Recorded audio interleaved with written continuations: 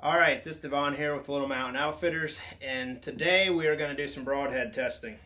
Um, we got some deer shoulder blades we got set up back there in the shooting range, and we got uh, a couple of the more common broadheads here. We have the Swhacker inch and three quarter. Um, we have the Grim Reaper Whitetail Special, that is a two inch cut broadhead as well. We have the Rage Extreme, that is a 2.3 inch cut and we have the Rocket Meat Seeker uh, as well. So we're going to be shooting those all through some deer shoulder blades, see how they hold up. This is not a penetration test, this is just to see how they hold up coming out the other side. So the arrows we got here are the Easton Bowhunter 6.5. Um, total weight with broadheads is around 440 grains. Um, the bow that we're going to be using is a 60 pound Bear Divergent. Um, 27 inch draw, so probably about 275 feet per second. Nothing super fast, uh, but we're going to see what happens to these broadheads. So we're back here in our range. Uh, we thought we'd just show you what we got set up here. So we got four deer shoulder blades um, taped to a cardboard box. So we got cardboard on the backside, so we'll be able to see um, what these broadheads look like as they exit the um, shoulder blade. We'll be able to see how many blades are st still are left. Um, if they're open, we'll be able to see that cut in the cardboard. So we'll hopefully be able to know exactly what happens when they go through these shoulder blades. Hoping to shoot them all at the same spot. And hopefully we can see which one holds up the best.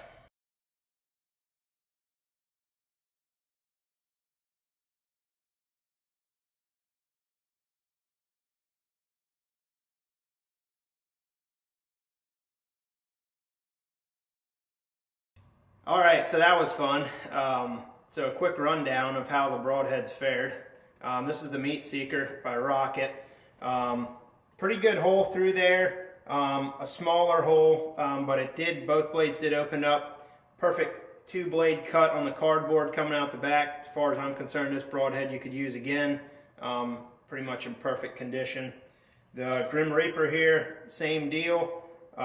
Three perfect blade cuts through the shoulder, through the cardboard in the back, and was about an inch and a half deep into the plywood and beyond that. This broadhead uh, fared pretty well in my opinion.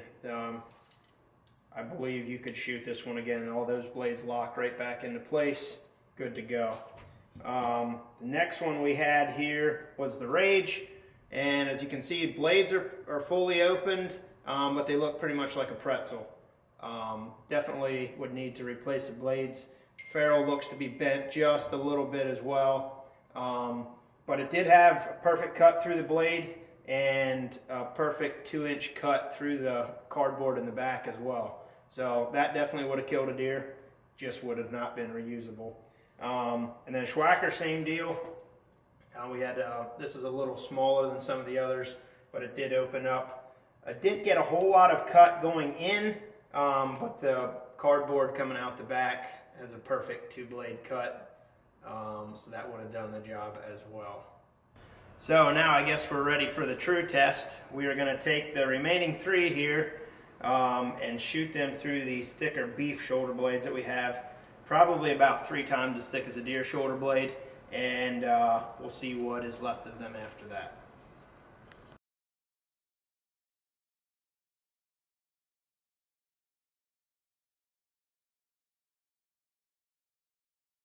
All right, so the shoulder blade here definitely was a little tougher for him. This is the Grim Reaper Whitetail Special three blade. It used to have three blades. Um, that very poor penetration. Broke two of the blades off. Third one is on here yet, but it did not go through that shoulder blade, um, even at a point blank distance. Uh, just shut it down. This here is the um, Swhacker. That one went the whole way through. We'll show you, walk around the back there. This here is the Meat Seeker from Rocket. Continues to be the one I am impressed with. Blew right through there. Both blades opened up, you can see. And we will check and see what that looks like on the back side.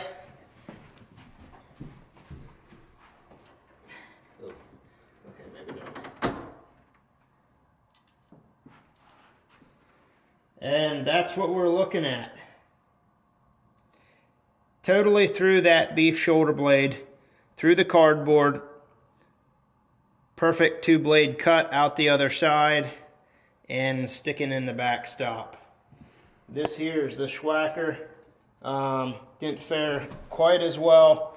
Both blades are still intact. They're both bent. One's partially broken, but it did go through the shoulder blade, stuck out the other side.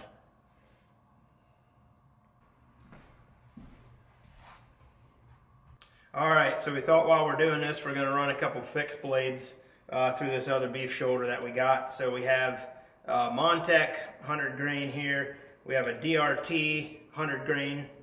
Um, and we have a Grim Reaper. It's called the Hades Pro. Uh, is also 100 grain. So we're gonna see how these three hold up through the beef shoulder blade.